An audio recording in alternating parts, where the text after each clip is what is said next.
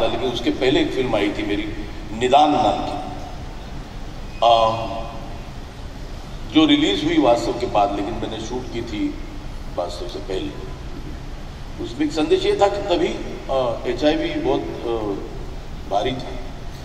और बेसिकली जो उसके बारे में किसी को कुछ पता नहीं था तभी that was the biggest epidemic तो वो फ़िल्म थी निदान मीन्स डायग्नोसिस तो वो एक फ़िल्म की थी जहाँ से मैंने ये सिनेमा के माध्यम से ये कोशिश की थी कि लोगों तक कि इट्स ओनली डिज़ीज़ एक ही ऐसा रोग था जिसको कोई इलाज नहीं लेकिन सिंपल इलाज था। बिकॉज़ ऑफ़ द इग्नोरेंस वो रोग फैल रहा था तो वो सिनेमा के माध्यम से मैंने वो आ, लोगों तक पहुँचने की कोशिश की थी लेकिन तब ऐसे हुआ था कि ये आ, इसमें मनोरंजन नहीं है इसमें उपदेश है लेकिन ऐसा नहीं था। लेकिन हर फ़िल्म में आपने अगर वास्तव देखी रहेगी तो वो यही बताता है कि तुम अंडरवर्ल्ड का अंत वही है जो संजय दत्त का था।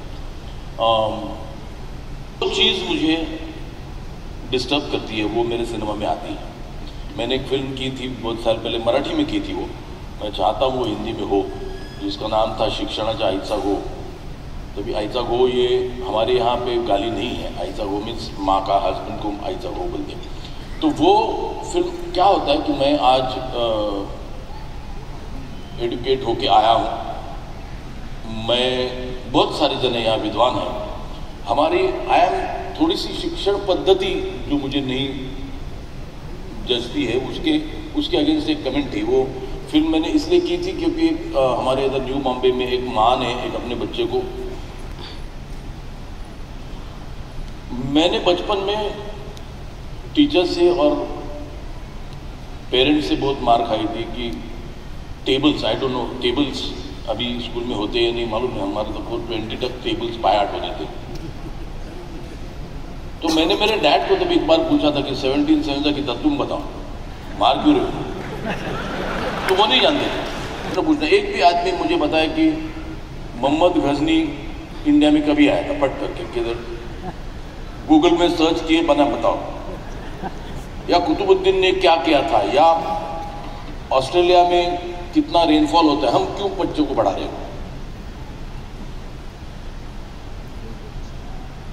जो चीज़ हमें लाइफ में आगे, अगर किसी को हिस्टोरियन बनना है तो वो ये सीखे।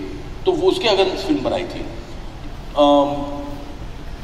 कागज़ पर विधवा के ऊपर। सो इधर तो लाइफ रिफ्लेक्ट्स इनटू फ़िल्म और वो होना चाहिए। और कुछ तो एक संदेश पिक्चर में जाना बहुत ज़रूरी है। आ, शायद तुम्हारा प्रश्न यही था? जो मुझे समाज में दिखता है उससे मैं लिखता हूँ। अभी जो मैंने देखा था, मुझे जब मैं मेरे डॉक्टर दोस्त के पास गया था, उसको पूछा था, मैं, उसने मुझे बताया एचआईवी के बारे में तो मैंने सोचा रही मैं नहीं जानता हूँ। तो how can I expect someone down there जो अनएडुकेटेड है, उसको जानना है?